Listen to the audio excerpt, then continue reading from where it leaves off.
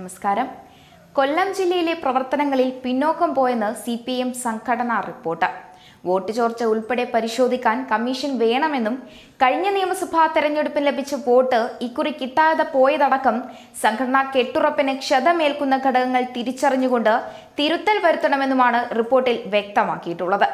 ജില്ലയിൽ സംഘടനാ ചുമതലയിലുള്ള ആനത്തലവട്ടം ആനന്ദനാണ് സംസ്ഥാന സമിതിക്ക് റിപ്പോർട്ട് സമർപ്പിച്ചത്.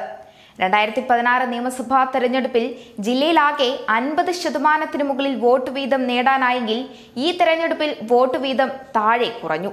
കുണ്ടറ കരുനാഗപ്പള്ളി തോൽവികൾക്ക് സംഘടനാ ദൗർബല്യവും പ്രധാന കാരണങ്ങളിലൊന്നാണ്. സംഘടനാ പരിമിതികളെക്കുറിച്ച് ആഴത്തിൽ പരിശോധിക്കാൻ കമ്മീഷനെ നിയോഗിക്കണം.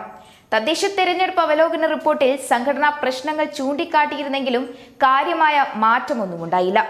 കഴിഞ്ഞ നിയമസഭാ തെരഞ്ഞെടുപ്പിൽ പതിനൊന്നിൽ മുഴുവൻ സീറ്റും വിജയിക്കാനായെങ്കിൽ ഇക്കുറി ഒൻപത് സീറ്റുകളിലായിരുന്നു വിജയം. ഇത്തവണ അറുപത്തി ഒൻപതിനായിരത്തി അഞ്ഞൂറ്റി പതിമൂന്ന് വോട്ടുകളുടെ കുറവുണ്ടായി. ഇരവിപുരം ഒഴികെ പത്തു മണ്ഡലങ്ങളിലും എൽ ഡി എഫിന് വോട്ട് കുറഞ്ഞത് രാഷ്ട്രീയവും സംഘടനാപരവുമായി വലിയ കുറവ് തന്നെ. അഞ്ച് മണ്ഡലങ്ങളിൽ അയ്യായിരത്തിലേറെ വോട്ട് കുറവുണ്ടായതും ഗൗരവമുള്ളതാണ്. ഏറ്റവും കുറവ് കുണ്ടറയിലാണ്. എം മുകേഷ് എം എൽ എക്കെതിരെ പാർട്ടിയിൽ ഒരു വിഭാഗം സി പി ഐയിലെ ചിലരും പ്രവർത്തനം നടത്തിയെന്ന ആരോപണം ശരിവെക്കുന്ന തരത്തിലേക്കുള്ള പരാമർശങ്ങളാണ് റിപ്പോർട്ടിലും ചൂണ്ടിക്കാട്ടുന്നത്. പേരെടുത്തു പറയുന്നില്ലെങ്കിലും മന്ത്രിസ്ഥാനത്ത് മേഴ്സിക്കുട്ടിയമ്മയ്ക്കുണ്ടായ ജാഗ്രതാക്കുറവും പ്രതിപാദിക്കുന്നുണ്ട്. ചില കേന്ദ്രങ്ങളിൽ കേന്ദ്രങ്ങളിലെങ്കിലും ബി ജെ പി ഉണ്ടാക്കുന്ന നേട്ടങ്ങൾ സംഘടനാ മികവിലൂടെ തടയണമെന്നും റിപ്പോർട്ടിലുണ്ട്. അതേസമയം കൊല്ലം ജില്ലയിൽ സംഘടനാ ദൗർബല്യമെന്ന് സി പി എം റിപ്പോർട്ടിൽ നേരത്തെ ചൂണ്ടിക്കാട്ടിയിരുന്നു. ജില്ലയിൽ പാർട്ടിയുടെ സ്വാധീനം കുറയുന്ന കാര്യം തദ്ദേശ തെരഞ്ഞെടുപ്പ് അവലോകന റിപ്പോർട്ടിൽ ചൂണ്ടിക്കാട്ടിയിട്ടും പരിഹരിക്കാൻ ശ്രമമുണ്ടായില്ല. ആഴത്തിലുള്ള പരിശോധന ഇക്കാര്യത്തിൽ വേണമെന്നും റിപ്പോർട്ടിൽ നേരത്തെ നിർദ്ദേശിച്ചിരുന്നു. കൊല്ലം ജില്ലയിലെ പതിനൊന്ന് നിയമസഭാ സീറ്റിൽ ഒമ്പതിലും ഇടതുമുന്നണി ജയിച്ചിരുന്നു. രണ്ടായിരത്തി പതിനാറ് തെരഞ്ഞെടുപ്പിൽ അപേക്ഷിച്ച് അറുപത്തി ഒൻപതിനായിരത്തി അഞ്ഞൂറ്റി പതിമൂന്ന് വോട്ടുകളായിരുന്നു ജില്ലയിൽ ഇടതുമുന്നണിക്ക് കുറഞ്ഞത്. മാത്രമല്ല ഇരവിപുരം ഒഴികെ പത്ത് മണ്ഡലങ്ങളിലും എൽ ഡി എഫ് വോട്ട് കുറഞ്ഞത് രാഷ്ട്രീയവും സംഘടനാപരവുമായ വലിയ കുറവ് തന്നെ. മാത്രമല്ല അഞ്ച് മണ്ഡലങ്ങളിൽ അയ്യായിരത്തിലേറെ വോട്ടിന്റെ കുറവാണുണ്ടായത്. അത് ഗൗരവത്തിലെടുക്കണം സി പി എം മത്സരിച്ച കരുനാഗപ്പള്ളിയിലെ വൻ പരാജയം സംഘടനാ പരിമിതിയുടെ കൂടി ഭാഗമാണ്. വളരെ ആഴത്തിലുള്ള പരിശോധന ഇക്കാര്യത്തിൽ വേണമെന്നും പറയുന്നു. ജില്ലയിലെ സംഘടനാ കെട്ടുറപ്പിനെ ക്ഷതമേൽപ്പിക്കുന്ന ഘടകങ്ങൾ തിരിച്ചറിഞ്ഞുകൊണ്ട് ആവശ്യമായ തിരുത്തൽ സ്വീകരിക്കണം. തദ്ദേശ തെരഞ്ഞെടുപ്പ് അവലോകനത്തിൽ ഇക്കാര്യം ചൂണ്ടിക്കാട്ടിയിരുന്നു. എന്നാൽ കഴിഞ്ഞ തവണ അൻപത് ശതമാനത്തിലധികം വോട്ട് കിട്ടിയ ജില്ലയിൽ ഇത്തവണ ജനപിന്തുണയിൽ വന്ന കുറവിന് സംഘടനാ ദൗർബല്യങ്ങൾ കാരണമായിട്ടുണ്ടോ എന്നും പരിശോധിക്കണം.